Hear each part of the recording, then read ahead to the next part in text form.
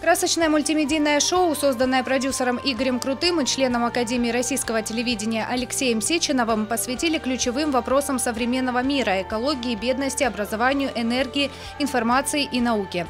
Каждая часть шоу сопровождалась выступлениями людей из разных точек планеты, внесшими серьезный вклад в решение глобальных мировых вопросов, а также выступлениями звезд эстрады.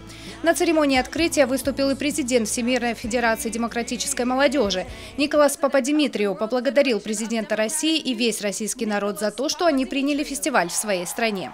The youth, according to the history and the tradition, have been always a vital part in every struggle for progress and social justice.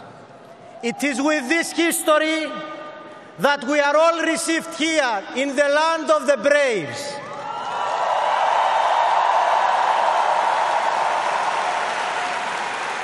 Молодежь всегда была важной частью борьбы за прогресс и социальную справедливость. Нас всех принимают в стране героев, которые победили фашизм во время Второй мировой войны и сто лет назад изменили историю. Фестиваль несет нас по пути международного объединения. Так давайте объединимся во имя мира.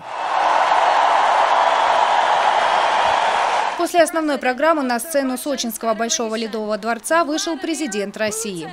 Молодое поколение всегда приносит в мир новаторские идеи вам свойственны эксперименты, споры, свойственно не соглашаться с привычным укладом вещей.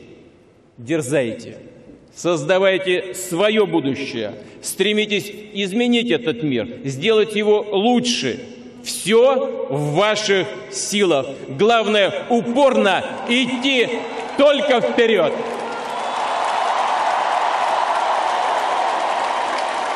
По окончании церемонии открытия Владимир Путин встретился со студентами и молодыми специалистами из России, Малайзии, Индонезии, Франции, Ямайки, США, Индии и Зимбабве. Обсуждать решение глобальных вопросов участники фестиваля будут на дискуссионных площадках. Накануне стартовал саммит молодых профессионалов в спорте, ну а сегодня началась работа первого глобального форума молодых дипломатов. В работе дискуссионной площадки принял участие министр иностранных дел России Сергей Лавров. Татьяна Говоркова, телекомпания «ФКТ».